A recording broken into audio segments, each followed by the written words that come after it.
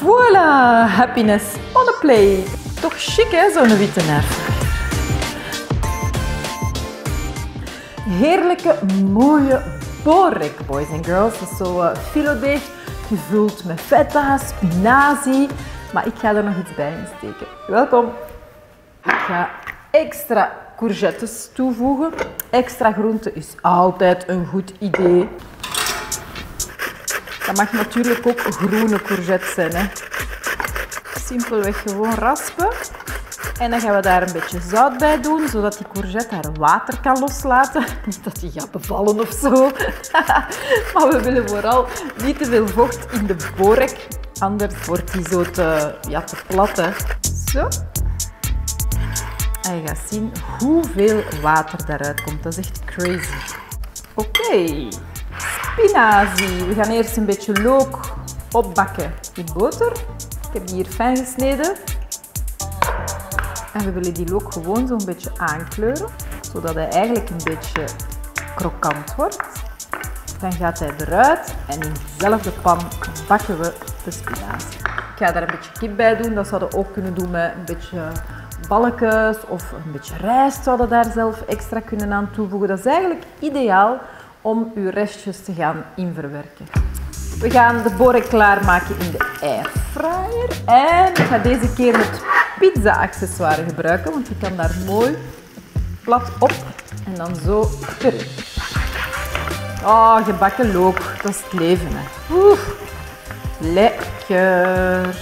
Daarom is zo'n airfryer toestel echt ja, een familietoestel. Hè. Wat je daar allemaal uitovert, dat is ongelooflijk. Ga maar eens gaan kijken in mijn categorie van de airfryer. Ik heb al heel wat in mijn categorie staan. En nu ook nog een lekkere zomerse borek. Look is mooi gebakken. Oeh. Heerlijk. Boter heeft ook mooi het aroma genomen van de look. En daar gaan we dan de spinazie in bakken.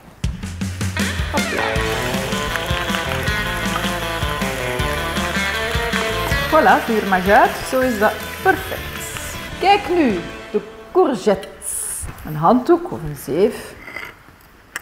Kijk nu een keer hoeveel water dat daaruit komt. Dat wil je toch niet in je bork, hè. Oké.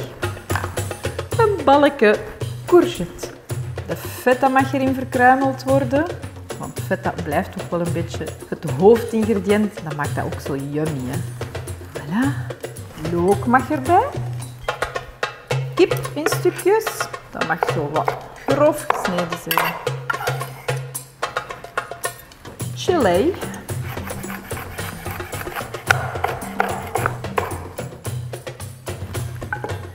Spinazie ga ik ook even het mes inzetten.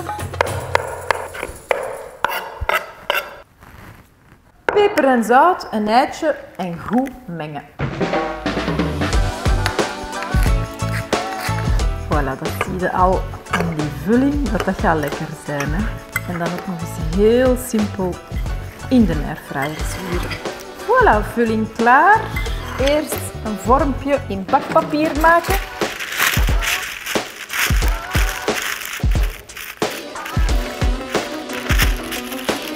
Voilà, perfect. Filodeeg. Filodeeg zijn heel dunne laagjes. Echt dun. Hè? Nu kunnen we beginnen vullen en rollen. Hè? Boter. Lichtjes invrijven. Vullen. En je maakt wel een beetje een sausisken. Hè? Het is makkelijk om op te rollen. Overal min of meer even dik. En tot op het einde. En dan gaan we voorzichtig gaan rollen.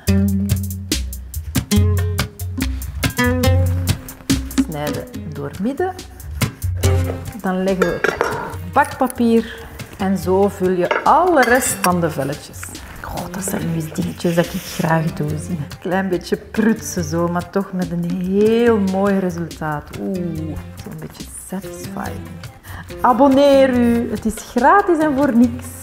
Daar bij de subscribe-button, druk op het belletje en dan mis je geen enkele satisfying video.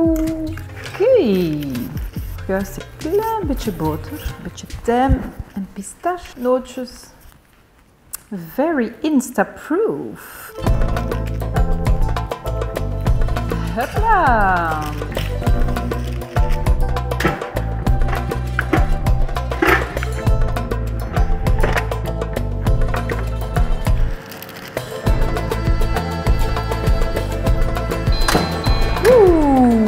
Chic hè, zo'n witte nerf. Wow. Voilà, happiness on a plate. Het recept staat op sophiedumont.be, borrek met extra kip en courgette. Dank u om te kijken, tot de volgende keer. Tjoes, airfryer lovers. Gewoon, nu moeten daar afblijven, dat is toch moeilijk hè?